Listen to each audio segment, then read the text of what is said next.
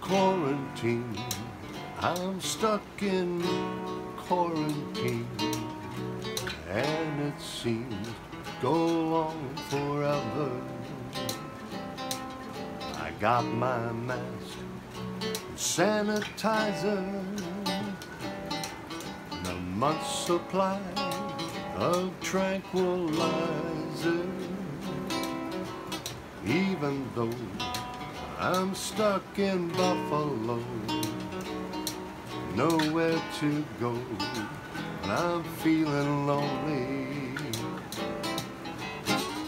I've learned to love these new latex gloves, I dreamed I'm quarantined Take some Purell, my mademoiselle, and dream your quarantine with with